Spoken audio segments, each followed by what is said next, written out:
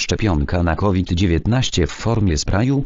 Ruszyły badania Australia. Badania kliniczne szczepionki przeciw COVID-19 w formie sprayu do nosa.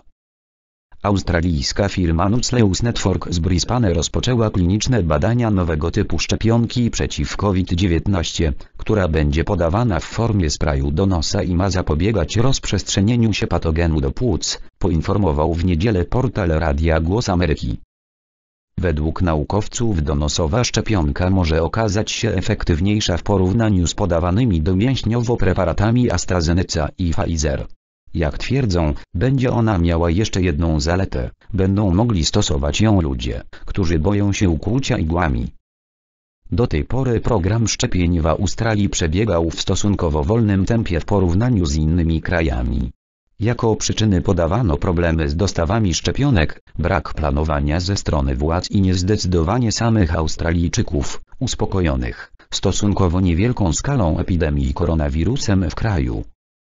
Paul Griffin, dyrektor medyczny Nucleus Network, która rozpoczyna badania nowego typu szczepionki w formie sprayu do nosa, powiedział, że o ile istniejące obecnie szczepionki głównie bronią ludzi przed powikłaniami po COVID-19, australijski preparat ma na celu obniżenie ryzyka zakażenia.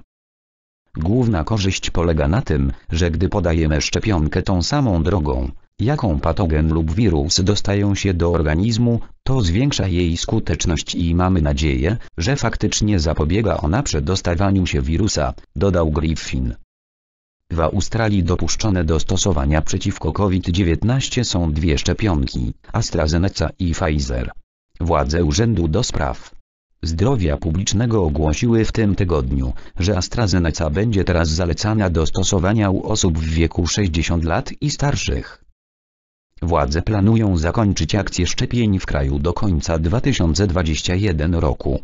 Do tej pory w Australii zarejestrowano ok.